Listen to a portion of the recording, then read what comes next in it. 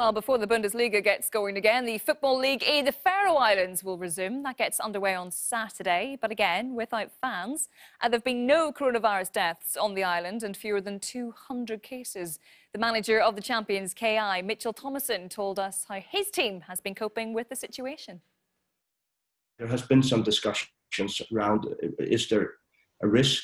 Should there be a, a, a virus um, inside of the clubs? Should there be a risk?